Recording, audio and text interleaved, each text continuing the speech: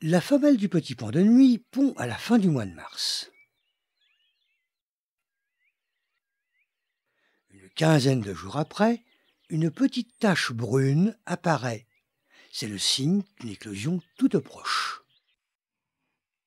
Il faut une trentaine de minutes à la chétive bestiole pour s'extraire de son œuf qui mesure tout juste 2 mm. Le lendemain, elles sont assez fortes pour commencer à s'alimenter. Les chenilles du petit pan de nuit sont polyphages, autrement dit, elles se nourrissent de différentes plantes. Nous pouvons les voir s'attabler sur le framboisier, le rosier et même le noisetier. Au début du mois de mai, elles ont changé trois fois de peau, celles-ci n'étant pas assez extensibles pour suivre leur croissance. Leur costume se colore à chaque mue, mais à la quatrième, elles deviennent vertes.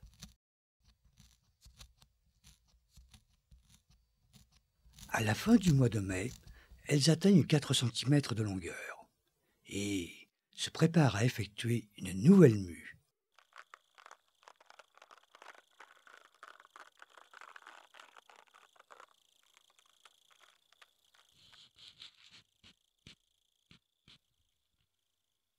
Un dernier effort et notre chenille quitte son ancienne peau.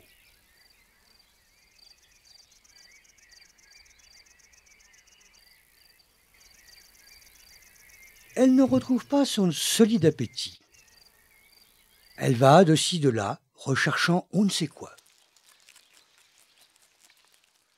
Trouver l'endroit propice à la construction de son cocon était la raison de ses allées et venues regardons-la pratiquer son art de tisseuse. Elle commence par fixer les fils qui serviront de base à l'édification de son écrin de soie. Ce qui paraît un assemblage hasardeux prend forme. Le cocon se dessine. Notre chenille disparaît peu à peu sous l'épaisseur des parois soyeuses.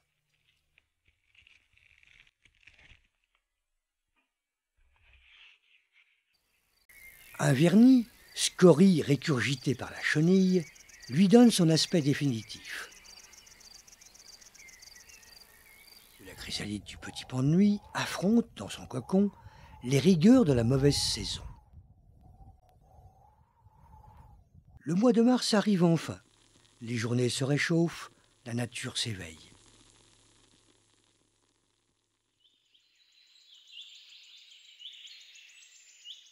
Durant la deuxième quinzaine de mars, le petit pan de nuit nous fait la surprise de s'extraire de son cocon.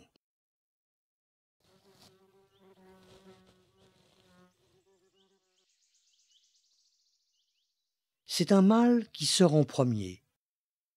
Il est reconnaissable à ses antennes plumeuses. C'est au tour d'une femelle de sortir.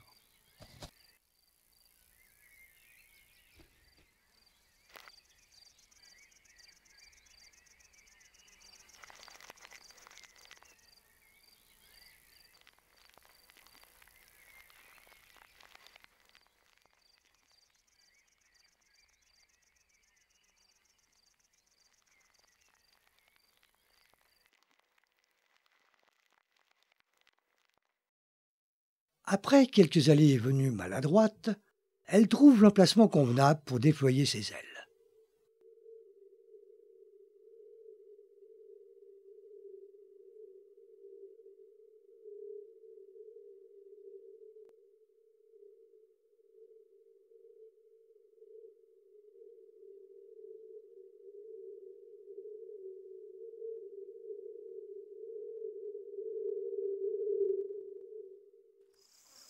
Le petit pan de nuit ne possède pas de trompe, et pour cause, il ne s'alimente pas.